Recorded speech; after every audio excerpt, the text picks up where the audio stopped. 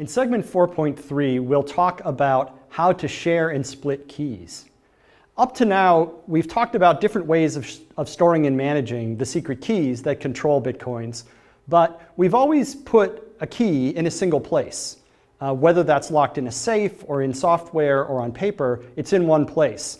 Uh, and storing the key in one place leaves us with a single point of failure, so that if something goes wrong with that single storage place, then we're in trouble. So here what we'd like to do now is be able to take a key and split it up into pieces and share those pieces around so that we avoid the single point of failure problem. Uh, and so we're going to introduce a cryptographic trick called secret sharing.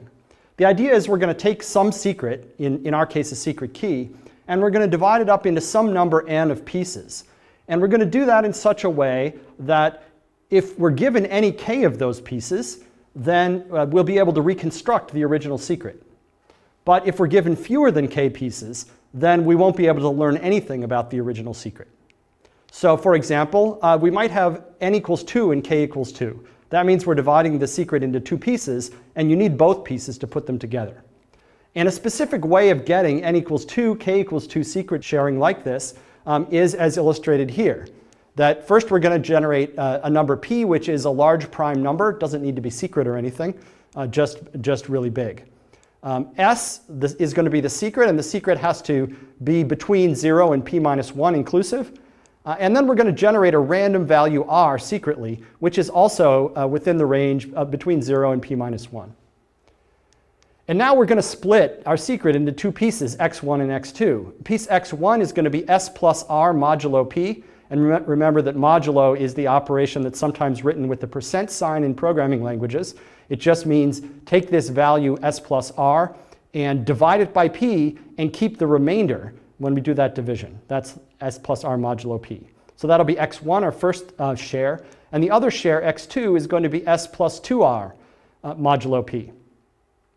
Okay, and now if we have both of these shares, x1 and x2, we can combine them to reconstruct the secret s. What we do is we compute 2 times x1 minus x2 modulo p.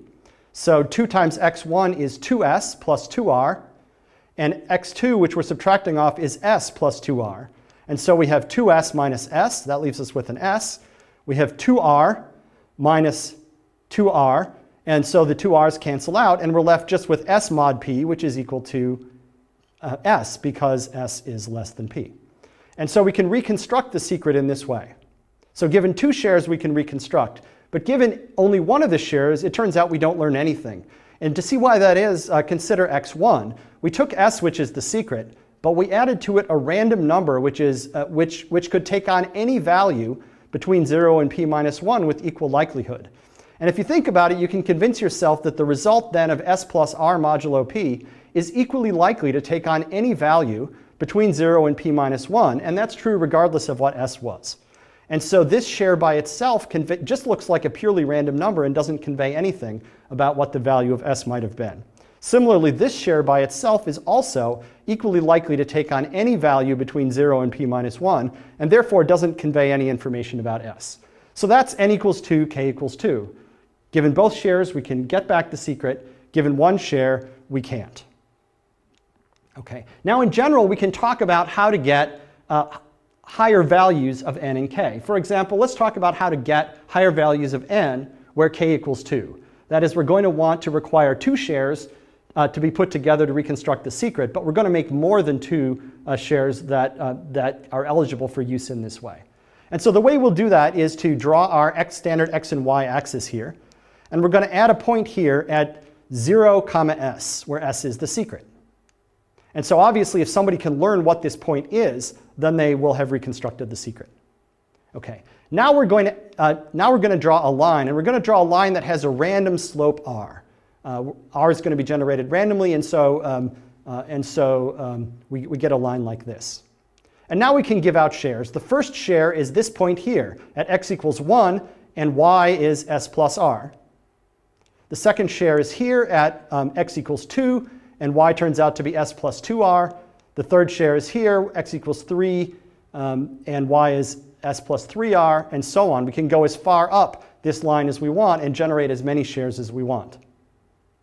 Okay, um, now, if you think about it, um, you can convince yourself that given any two points, you can interpolate and find s, right? That's a property of a line. Given any two points on a line, you can interpolate the line. Imagine um, setting down a ruler that exactly touches, say, these two points, and then you can just draw a straight line along that ruler. So given any two points, you can reconstruct what this line is. You can see where the line crosses the y-axis. That will be 0, comma s, and that will give you back the, uh, uh, the secret.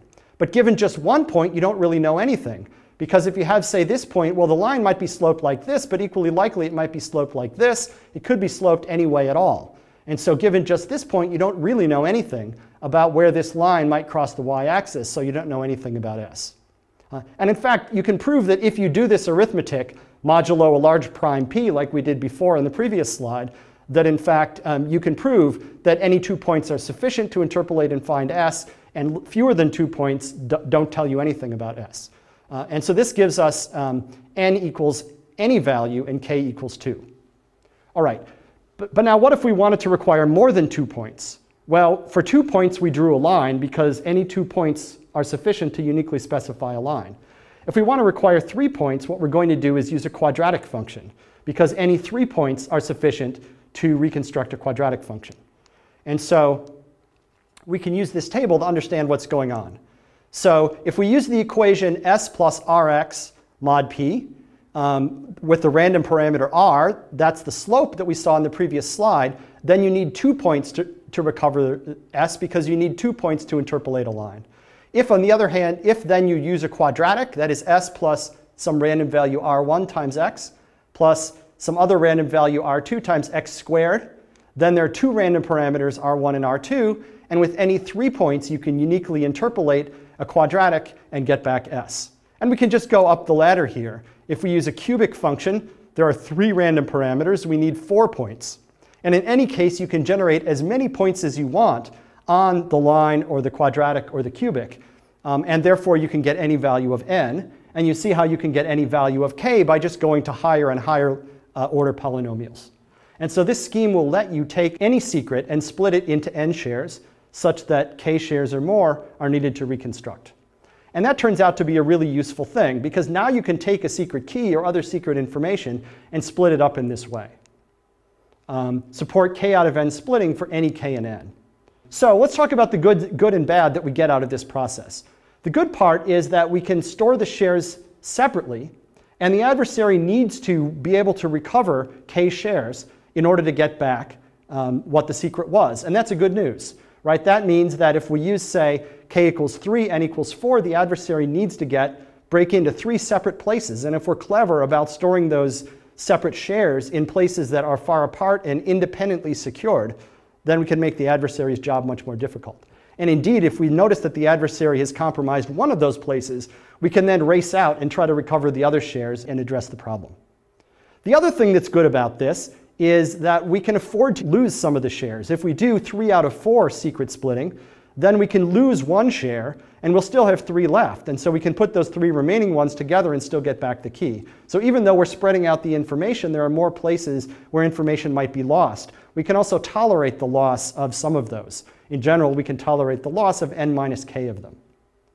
Now that's the good news. The bad news is that if we take a key and we split it up in this way, and we then want to go back and use the key to sign something, we still need to bring the shares together and recalculate the initial secret in order to be able to sign with that key. And that point where we bring all the shares together and recombine them is still a single point of vulnerability where an adversary might be able to attack us. Uh, and that's the bad news. So although this is useful, it's not a panacea, and there's something else that we'd like, which is the ability to generate separate shares and use those shares separately in order to sign. Um, and, and that's what's behind the concept of multisig that we saw earlier in lecture three. So if you recall multisig in lecture three, it lets you keep the shares or the different pieces that need to sign a particular transaction apart and to allow them to approve the transaction separately without needing to reassemble the key at any point. So just as an example of application of that, suppose that Andrew, Arvind, Ed, and Joseph are coworkers. Let's say they're co-founders of a company, and the company has a lot of bitcoins. Hey, you know, we can dream. Now, uh, what we might want to do is uh, use multisig to protect our large store of bitcoins. So what we're going to do is have each of the four of us generate a key pair, And we're going to, for our, our company's cold storage, store the coins so that we require multisig with three out of the four keys signing. Now, the result of that is that we know that we're relatively secure if the four of us keep our keys separately and secure them differently, that someone would have to compromise uh, three out of the four keys, that um, if some employee or even two employees go rogue, those rogue employees can't steal all of the company's coins because you would need a conspiracy of three out of four to do that. And we also know that if something goes wrong, if one of us loses our key, or if one of us gets run over by a bus and, can't, and our brain wallet is lost, um, the others can still get the coins back and transfer them over to a new place. And so multisig allows you or helps you to manage large bodies of cold stored coins in a way that's relatively secure and that requires action by multiple people uh, before anything drastic happens.